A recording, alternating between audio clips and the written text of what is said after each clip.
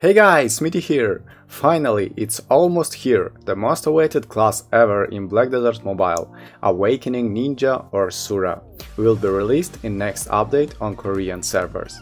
And today, developers made us a big gift previewing the class gameplay and all the skills. With that, I decided to make an overview to the original developers video and give you my personal opinion about the upcoming class and add some more clearance to the showcase skills and techniques. So let's begin. Sura is a melee assassin type class that uses fast techniques to cut his enemies with his sharpened surados.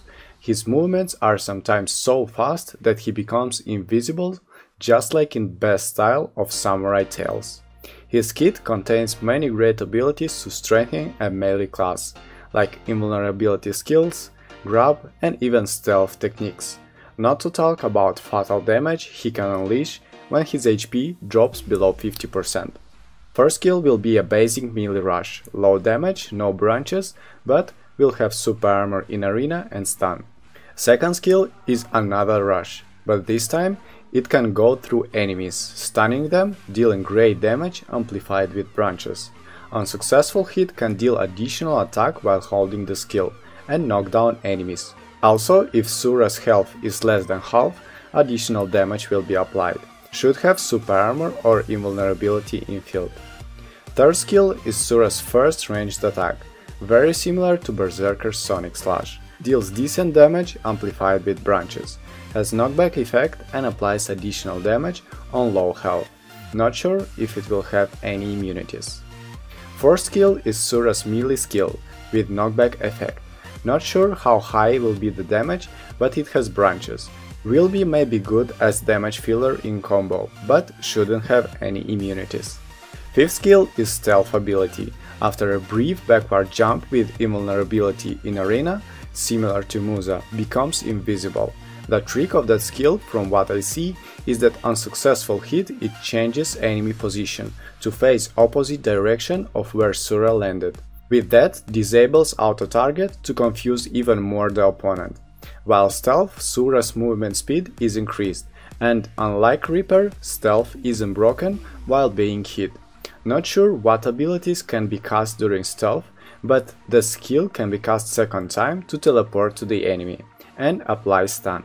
Also, from what it seems, Sura will reveal his position during stealth if approach the enemy too close. Following 6th skill is Sura's massive area and damage ability, with healing effect and branches, knockdown, super armor in field, and bonus damage on low Sura's health. 7th skill is another big damage ability, with branches, deals a fast combination of attacks with movement in process, dazing the enemy on successful hit.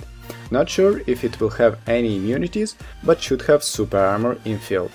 8 skill and again a high damage ability, amplified with branches, average range and a knockdown effect. Also deals additional damage when HP is below 50%. Should have super armor in field, but not sure.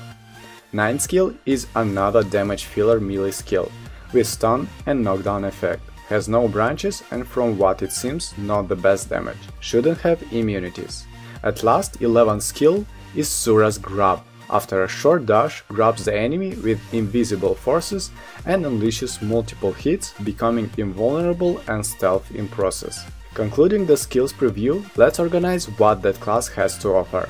2 rush skills, 2 range skills, 4 DPS skills with bonus damage while low on health, 1 grab, 1 stealth and teleport, and at last 2 melee damage fillers that most likely won't be used.